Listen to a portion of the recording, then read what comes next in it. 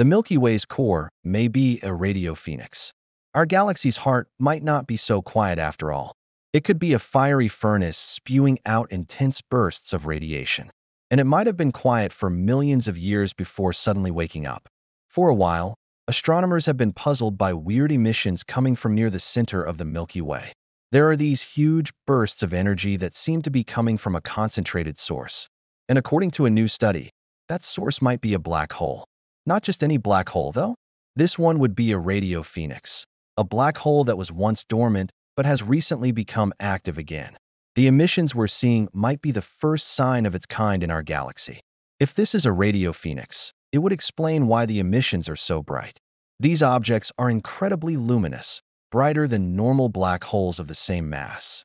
So what does this mean for us?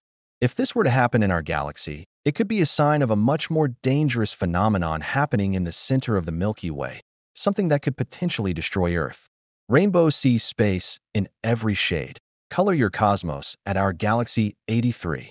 Artist Palette Ring Planet.